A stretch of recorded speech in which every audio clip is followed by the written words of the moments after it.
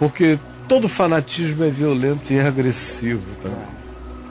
Ele é exclusivo, ele é separatista, ele é faccionista, ele só aceita o idêntico, o uniformizado, ele repudia o diferente, ou que pensa diferente, ou que se comporta de modo distinto do dele, mesmo que o comportamento diferente do outro indivíduo não venha, não toque nele, não o impeça de ir e de vir, de viver, de ganhar a sua vida. A mera existência daquele outro diferente, com outro comportamento, para ele, que é fanático, já é uma agressão, porque o fanatismo começa com dogmas de qualquer natureza, ainda que seja um dogma de natureza emocional, como numa torcida de futebol.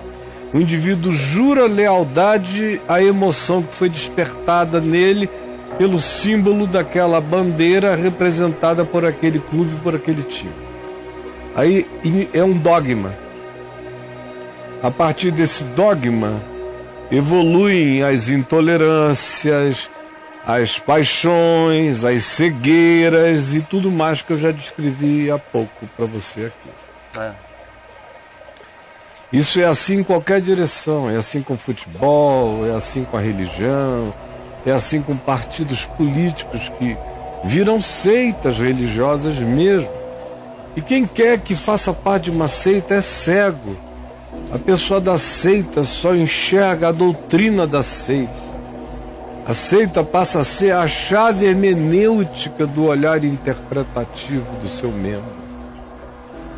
Por isso, eu usei as torcidas como curiosidade, apenas porque também será uma grande curiosidade quando você vir grupos de religiões, até então separadas e fanáticas, passarem a se respeitar, a se tratar com amor normal.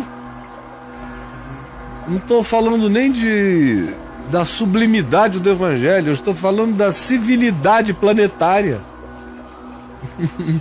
Não, não ouso nem passar disso para o que Jesus nos chamou, no andar de cima da consciência. Caião, você acha que o fanatismo ele, ele, ele, ele atinge qualquer pessoa, independente de faixa de conhecimento, de claro. cultura? Ou você acha que as pessoas mais ignorantezinhas. As mais, mais ignorantes mais seguem. Ao fanatismo? As mais ignorantes são as seguidoras do fanatismo. As mais inteligentes são as proponentes do fanatismo. Essa é a diferença que eu vejo sempre estabelecida, quase sempre. Tá.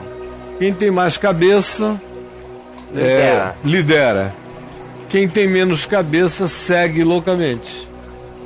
Quem tem mais cabeça logo percebe que o fanatismo é útil para controle e poder, mas ele mesmo já não se submete às coisas com as quais ele fanatiza o povo.